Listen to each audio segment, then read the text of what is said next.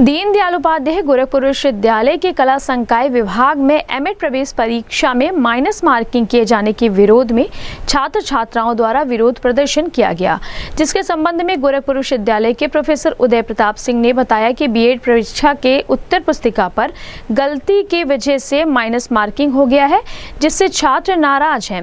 विश्वविद्यालय प्रशासन छात्रों से बात करने का प्रयास कर रहा है, जल्द ही छात्रों की मांगों को पूरा कर दिया जाएगा।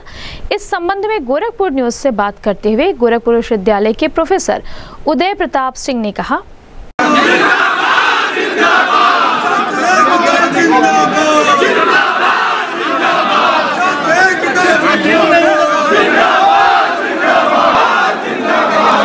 किस मानक पर किस मानक पर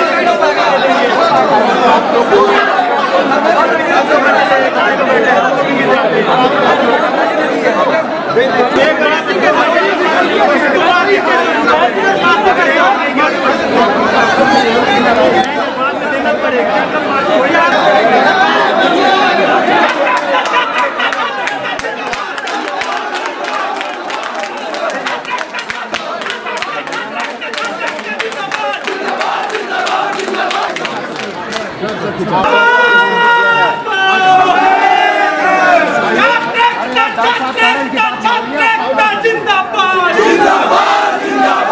होगा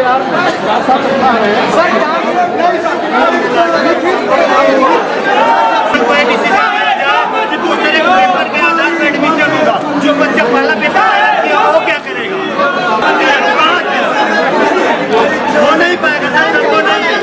हम लोग नहीं चाहते। सर आप हमारा सेक्टर में किताब एक बार रिक्वेस्ट करने आए हैं दोबारा नहीं आना चाहते हैं पुस्तिका पे कुछ जो है ना गलती हो गई है माइनस मार्किंग को लेके उससे बच्चे आक्रोशित हैं। हम लोग उसको हैंडल कर रहे हैं तो एक बार किया जाए। देखिए क्या रास्ता निकलता है। अभी तो हम लोग प्रयासरत हैं। Thank you